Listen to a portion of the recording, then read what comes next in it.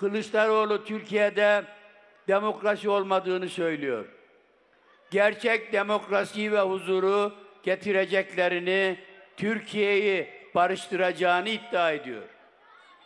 Kılıçdaroğlu yanına aldığı İYİ Parti Başkanı ve iller, illerini bırakıp kaçak halde sağda solda nutuk atan malum belediye başkanları ile birlikte terörle mücadele edeceklerini ileri sürüyor. Terörist Demirtaş'ı serbest bırakacağım diyen bir cumhurbaşkanı adayı terörle mücadele değil, terörle müzakere ve mütareketen başka hiçbir şey yapmaz, yapamaz. İhanet odağı HDP PKK'nın desteğiyle adaylık pozu veren Kılıçdaroğlu özellik, özellik emellerinin bölücü hedeflerin ümididir.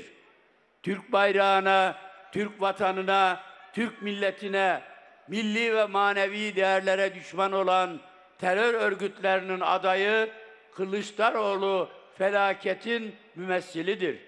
İnancım odur ki Tokat bu şahsa yüz vermeyecektir. Bayraksızları güldürmeyecektir.